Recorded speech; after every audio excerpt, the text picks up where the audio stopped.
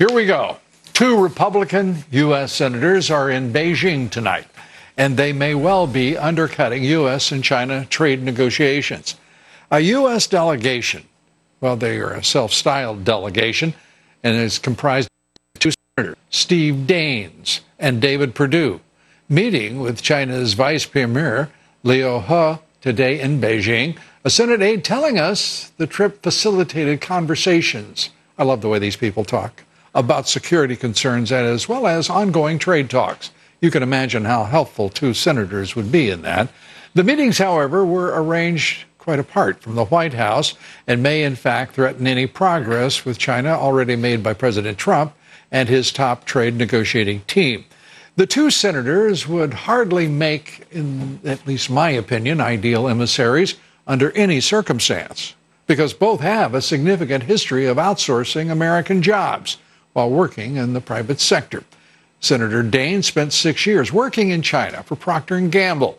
While the company says Daines wasn't making corporate decisions, he was there to help the company expand production in China. His work in China just happened to coincide with a period in which Procter & Gamble shut down plants that resulted in a loss of 4,000 U.S. jobs. For his work, Daines has received more than $70,000 in contributions from Procter & Gamble. He's also taken in more than $61,000 from the uh, ubiquitous Koch Industries. Senator Perdue, for his part, has uh, clearly, openly acknowledged his uh, outsourcing of American jobs overseas in a 2005 deposition about his handling of collapsed uh, of a collapsed textile company in North Carolina. Perdue was asked about his quote experience with, with outsourcing end quote. His blunt response was, quote, yeah, I spent most of my career doing that, end quote.